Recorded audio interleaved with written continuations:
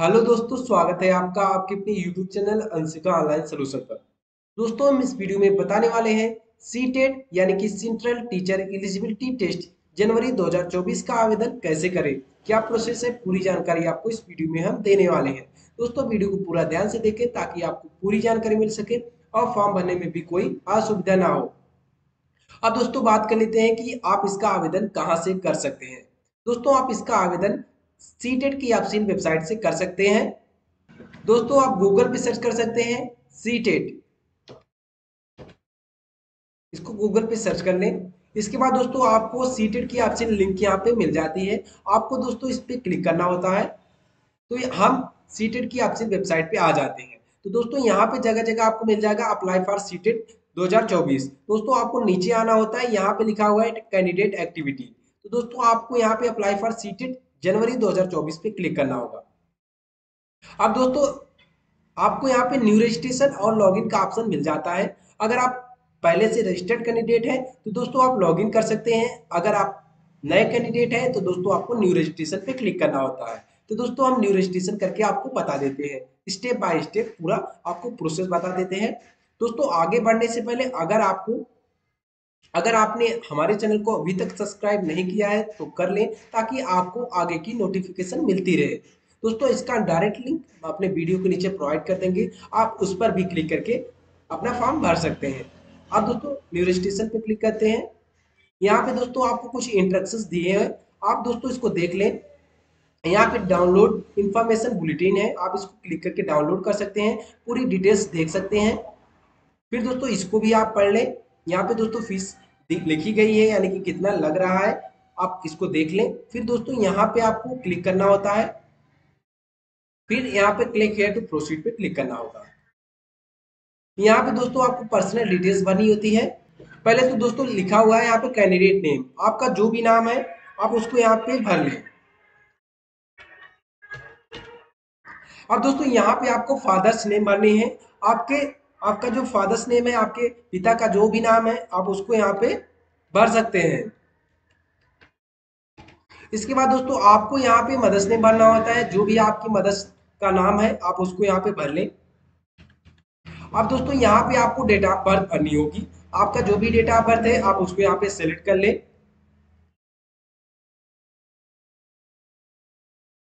अब यहाँ पे दोस्तों, नीचे आपको जेंडर सेलेक्ट करना होता है। जो भी जेंडर है, मेल या फीमेल, आप अपना यहाँ पे सिलेक्ट कर लें, फिर यहाँ पे आपको आइडेंटिटी टाइप भरना होगा। यहाँ पे दोस्तों वोटर आईडी दिया है पासपोर्ट दिया है बैंक पासबुक विद फोटोग्राफ दिया है, राशन कार्ड विद फोटोग्राफ दिया है, फिर ड्राइविंग लाइसेंस दिया है। यदि यदि दोस्तों आपके पास इनमें से कोई भी है तो आप उसको सिलेक्ट कर लें। अगर आपके पास इनमें से कोई भी नहीं है और आपके पास आधार कार्ड है तो दोस्तों आपको any other valid government identity with photograph पे क्लिक करना होगा। दोस्तों आप इस पे क्लिक कर लें, फिर यहाँ पे आपको आधार नंबर भरना होगा। अब दोस्तों यहाँ पे आपको कांटेक्ट डिटेल्स भरनी है पहले तो दोस्तों यहाँ पे लिखा हुआ है प्रेमाइस नंबर यानी कि परिसर संख्या आप दोस्तों यहाँ पे परिसर संख्या भर सकते हैं यानी कि आप यहाँ पे विलेज का नाम भी भर सकते हैं यहाँ पे दोस्तों सब लोकेलिटी दिया है यहाँ पे ऑप्शनल है यहाँ पे भरना चाहते हैं तो भर लें यहाँ पे दोस्तों पोस्ट का नाम भी भर सकते हैं आप इसको भर सकते हैं आप भर लें फिर यहाँ पे दोस्तों कंट्री दिया है कंट्री आप इंडिया सिलेक्ट कर लें फिर स्टेट आपका जो भी है आप उसको यहाँ पे सिलेक्ट कर लें फिर यहाँ पे डिस्ट्रिक्ट आपको सिलेक्ट करनी है, आपकी जो भी डिस्ट्रिक्ट है उसको सिलेक्ट कर लें पिन कोड क्या है उसको यहाँ पे सिलेक्ट कर लें।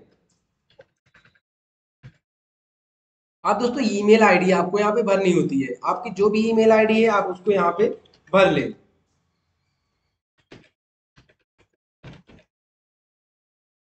फिर आपको दोस्तों ईमेल जो आपने भरी है उसको यहाँ पे कंफर्म करना होगा, यानी कि एक बार आपको फिर से वही ईमेल आईडी यहाँ पे दोहरानी होगी।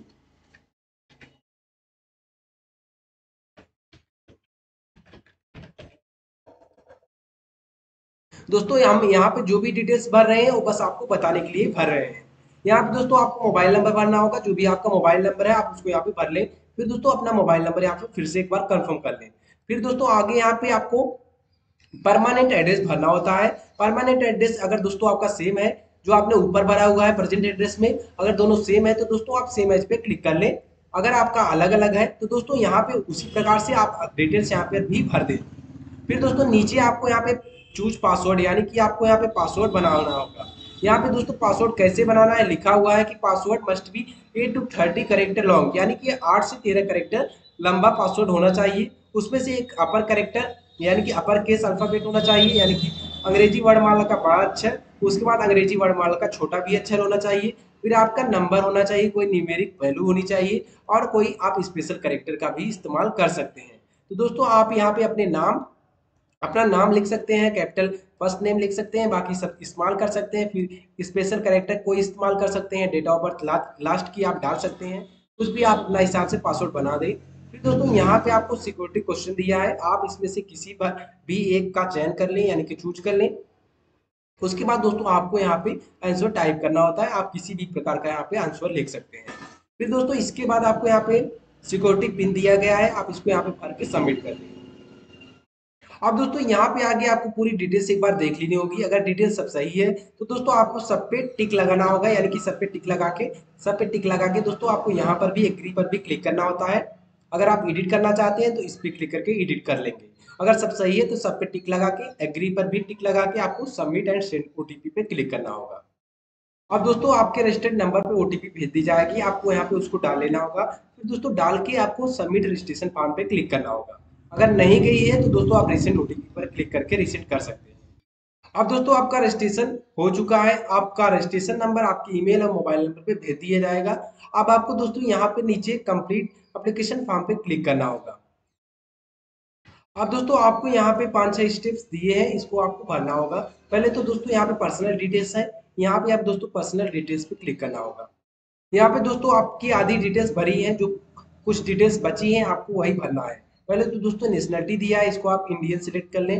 फिर दोस्तों यहाँ पे कैटेगरी आपकी जो भी कैटेगरी है, आप उसको यहाँ पे सिलेक्ट कर लें। फिर यहाँ पे बेंचमार्क पर्सन यानी कि पीडब्ल्यूडी दिया है। दोस्तों यहाँ पे लिखा है are you person with benchmark disability अगर है तो दोस्तों यस करें अन्यथा नो कर दें। फिर दोस्तों यहाँ पर लिखा हुआ है are you person with disability अगर है तो दोस्तों यस करें अन्यथा नो कर दें।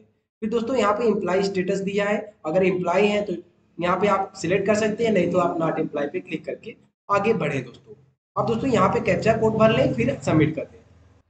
अब दोस्तों यहाँ पे लिखा हुआ है अप्लाई फॉर यानी कि आप किसके लिए अप्लाई करना चाहते हैं? पहले तो दोस्तों दिया है अप्लाई फॉर आप दोस्तों फ़र्स्ट पेपर के लिए अप्लाई करना चाहते हैं या सेकंड पेपर के लिए अप्लाई करना चाहते हैं या दोनों के लिए अप्लाई करना चाहते हैं? दोस्तों आप पहले इसका चयन कर लें। दोस्तों अगर आप बोध के लिए सिलेक्ट करते हैं तो पहले तो आपको यहाँ पे लैंग्वेज चूज़ करनी होती है। पहले तो आप लैंग्वेज चूज़ कर ले, जो भी आप लैंग्वेज में एग्ज़ाम देना चाहते हैं। फिर दोस्तों यहाँ पे लैंग्वेज फ़र्स्ट है, यहाँ पे सेकंड है। दोस्तों, जो भी लैंग्वेज आप चूज़ करना चाहते हैं, उसको आप चूज़ कर ले यहाँ पे। दोस्तों सेकंड वाले में भी चूज़ कर ले। अब दोस्तों, यहाँ पे आती है minimum qualification for classes one two five तो दोस्तों, यहाँ पे आपको देख लेना होगा कि आपके पास कौन सी क्वालिफिकेशन है। यहाँ पे दोस्तों, आप नोटिफिकेशन देख सकते हैं कि आपके पास क्या डिग्री होनी चाहिए वन टू फाइव के लिए। और दोस्तों, क्या होनी चाहिए? सिक्स टू एट के लिए इलिजिबिलिटी तो दोस्तों, आप इसको देख सकते हैं। यहाँ पे भी दोस्तों आपको मिल जाता है। पहले तो लिखा हुआ है कि senior secondary or equivalent with at least fifty percent marks and passed or appearing in final year of two year diploma in elementary education by whatever name known तो दोस्तों, यहाँ पे आपके पास सीनियर सेकेंडरी दी गई है और उसके बाद आपके पास डिप्लोमा होना चाहिए पास या ईयर की। तो दोस्तों, अगर आपने ऐसा किया है तो दोस्तों, इसको आप सिलेक्ट कर सकते हैं वन सिलेक्ट कर सकते हैं। फिर दोस्तों, यहाँ पे लिखा है सीनियर सेकेंडरी और इक्वलेंट लिए लिखा हुआ है कि उसके बाद with at least forty five percent mark and passed or appearing in final year of two year diploma in elementary education तो दोस्तों, अगर आपने ऐसा किया है तो दोस्तों, आप इसको चूज़ कर सकते हैं। फिर दोस्तों, यहाँ पे लिखा हुआ senior secondary or its equivalent with at least fifty percent mark and passed or appearing in final year of four year bachelors of elementary education B El Ed तो दोस्तों अगर आप बीई एलईडी e किया है तो आप इसको choose कर सकते हैं। दोस्तों यहाँ पे लिखा हुआ है सीनियर सेकेंडरी आर इक्वलेंट लिखा हुआ है फिर with at least fifty percent mark and pass or appearing in final year of two year diploma in education special education तो दोस्तों आप अपने हिसाब से इसको देख लें। अगर आप जिसके एलिजिबल हैं जो, जो आपने किया है आप उसको यहाँ पे चूज़ कर सकते हैं। अब दोस्तों यहाँ पे लिखा हुआ है graduation with at least 50% mark and passed, are appearing in final year bachelor of education B.Ed को लिए दिया है, who has acquired for the qualification of bachelor of education. तो दोस्तों, अगर आपने ऐसा किया है तो दोस्तों, आप इसको चूज़ कर सकते हैं। अब दोस्तों, आगे दिया है कि post graduation with minimum 55 percent mark तो दोस्तों, अगर आपने पोस्ट ग्रेजुएशन किया है तो दोस्तों, आप इसको चूज़ कर सकते हैं। आप अपने हिसाब से, दोस्तों, आप इसको यहाँ पे चूज़ कर लें। दोस्तों, इनमें से आपके पास दो ऑप्शन हटा दिए गए यानी कि पाँच और छह नंबर हटा दिए गए हैं। दोस्तों, जैसा कि आप यहाँ पे देख सकते हैं कि यहाँ पे चार ही ऑप्शन है, यानी कि इनमें से आपके पास ऊपर के चार ऑप्शन में कोई भी एक होना चाहिए, तभी आप इसके लिए अप्लाई कर पाएँगे। दोस्तों, आपके पास जो भी है, आप उसको यहाँ पे सिलेक्ट कर लें फिर दोस्तों यहाँ पे सिक्स टू एट के लिए यहाँ पे दिया हुआ है कि पहले तो दिया है graduation and passed or appearing in final year of two year diploma in elementary education तो दोस्तों, यहाँ पे आप क्वालिफिकेशन देख लें, आपके पास जो भी है, आप उसको यहाँ पे सिलेक्ट कर लें। दोस्तों, अगर आपके पास डिप्लोमा है, यानी कि ग्रेजुएशन के बाद टू ईयर की डिप्लोमा है तो आप दोस्तों पहला सिलेक्ट कर सकते हैं। अब दोस्तों, यहाँ पर नीचे दिया हुआ है at least fifty percent mark and either in graduation or in post graduation and passed or appearing in final year bachelor in education यानी कि बी तो दोस्तों, अगर आप पास बैचलर डिग्री है और उसके बाद ग्रेजुएशन पास या अपेयरिंग है तो दोस्तों आप इसको चूज़ कर सकते हैं। फिर दोस्तों यहाँ पे लिखा हुआ graduation with at least 45 percent mark and pass or appearing in final year bachelor degree in education. तो दोस्तों अगर आपके पास 40 परसेंट मार्क 45 परसेंट मार्क है ग्रेजुएशन में और बीएड है तो दोस्तों आप इसको चूज़ कर सकते हैं। इसी प्रकार दोस्तों यहाँ पे लिखा हुआ कि सीनियर सेकेंडरी है, उसके बाद आपके पास सीनियर सेकेंडरी में पचास परसेंट मार्क और आपके पास फोर ईयर का बैचलर इन एलिमेंट्री एजुकेशन है तो दोस्तों आप इसको सिलेक्ट कर सकते हैं। फिर दोस्तों इसी प्रकार आपके पास जो भी है, आप उसको यहाँ पे सिलेक्ट कर लें। अब दोस्तों आपको यहाँ पे subject offer for second paper second paper के लिए सब्जेक्ट यहाँ पे दिया हुआ है। आप जो चूज़ करना चाहते हैं, आप उसको यहाँ पे चूज़ कर लें।